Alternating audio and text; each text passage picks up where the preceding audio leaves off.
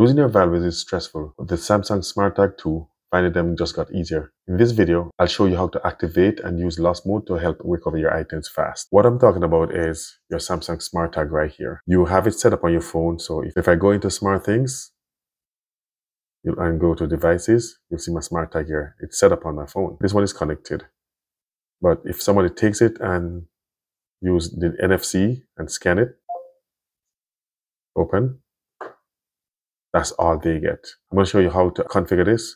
If somebody finds it and scan it with NFC, they'll actually get some valuable information, including your contact information, e email, and even your phone number that you set up on it. Instead of you trying to find the person, the person can contact you and say, hey, I found your smart tag. I found your keys. I found your wallet. I found whatever you had the smart tag connected to. So let's get into it. So the first thing you want to do is have your smart tag paired. And most people do, so I'm not going to get into that right now. And then you want to go into smart things. So you go to Samsung, smart things, and then I have mine connected right here. What you want to do is hit view map. And it's going to show you where your smart tag is. So what you want to hit next is these three dots right here. Then you're going to hit lost mode. So if you hit lost mode, see, let me go back. It's turned off right here.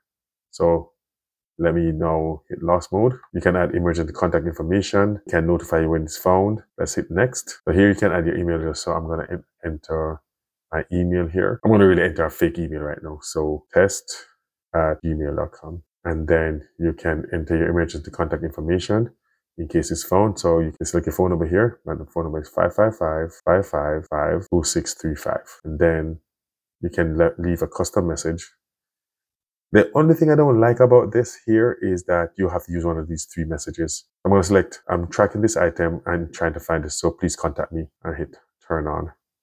So now if I take my smart tag and scan it with NFC on my phone, open the browser.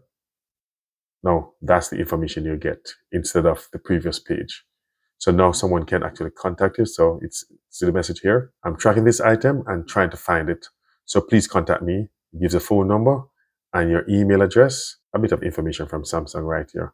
So that's how you enable lost mode on your Samsung Smart Tag. One thing I would say, you probably should put a little sticker here to tell them to like scan me for owner or something like that because you know there are honest people out there. So if they find your keys, find your, your luggage or whatever you had the smart tag in, they'll want to return it. Put a sticker here, say scan me with NFC, and they'll just simply take their phone. On a Samsung phone, you come, scroll down, and swing across and NFC is right here. So it's off. Now it's on. And then you simply take your tag. Let's put it at the back of the phone right here.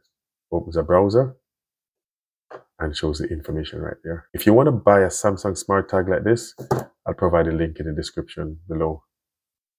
So thank you for watching and please hit that subscribe button